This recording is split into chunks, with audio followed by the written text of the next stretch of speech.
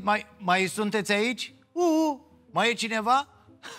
Oare câți români ori fi plecat din țară de când a început emisiunea asta? Într-o vreme știu că se pleca în ritmul de 9 oameni pe oră da. La 6 ore pleca un medic din România Erau niște calcule, cineva se ocupa de așa ceva Între timp, cred că au plecat și ăia care făceau aceste calcule Dar de venit A venit cineva, oare?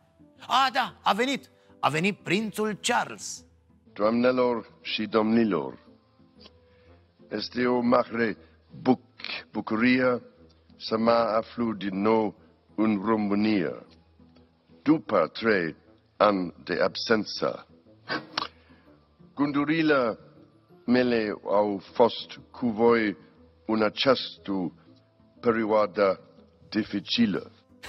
Ce tare! Maestrul Charles pronunță perioadă, nu zice peroadă, ca știm noi cine e, Hai că ușor, ușor se stabilește în România prințul Charlie Și normal, pentru că e atât de frumos aici Dacă nu era frumos, nu mai veneau străinii să ne ia țara, nu? Ăsta e adevărul Așadar, cum să pleci, frate, din România? Cum să pleci tu de la panoul de comandă al planetei aflat în munții Bucegi? Cum? În loc să stai frumos la butoanele energiilor telurice ale pământului. Nu te ninge, nu te plouă Tu preferi să mergi în străinătate Unde nici nu știi ce te așteaptă. E, Vorba vine, nu știi, știi ce te așteaptă. Muncă și plictiseală, tată Serios, vouă ce vă spun românii care s-au întors după ce au stat pe afară niște ani? Vă spun că acolo s-au cam plictisit, aia vă spun Iată, asta e frumos în România, că niciodată nu te plictisești.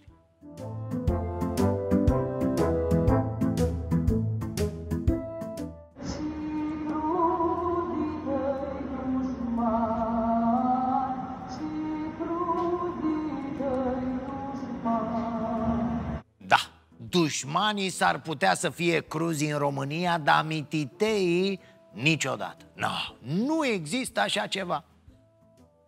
Eu nu știu altă țară în care poți să faci grătar pe balcon și asta să fie așa, ceva normal. Nu te amendează nimeni, nu se scandalizează nimeni.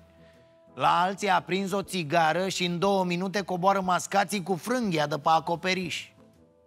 A, sigur, dacă se întâmplă să scap grătarul pe o mașină din parcare Atunci da, s-ar putea să plătești și la noi cu adevărat vital însă e să nu-l scap pe vecinul care taie porcul în parcarea din spatele blocului Că atunci, da, e, e foarte grav. Aia e greșeală capitală. Dar în rest, putem discuta. Ai mă, frate, că ne înțelegem noi. Ce naiba oameni suntem? Uite, chiar și astea ar putea fi alte motive de rămas în țară. Ai bă, că ne înțelegem noi, respectiv Lasă-mă că merge și așa. Uh, șeful, mă scuzați, trebuia să facem un pod și a ieșit o potecă de în piatră. Cum procedăm? Lasă-mă că merge și așa, dă-i bătaie acolo. Să ne relaxăm, deci.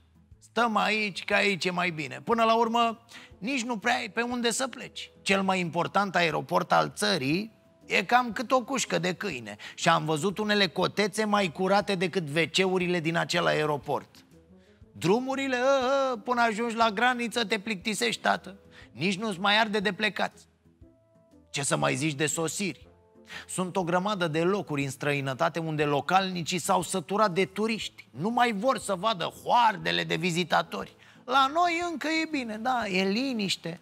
Nu prea ne deranjează turiștii străini, nu? Iar dacă nici aceste motive nu v-au convins Atunci o să o zic în sfârșit paia dreaptă, adevărată Mă, rămânem aici, în țara noastră, în România noastră minunată, grădina Maicii Domnului, ca să fim de față când moare capra vecinului. Să nu ratăm momentul, domn. În aceste momente solemne mă gândesc la țărișoara mea, la România!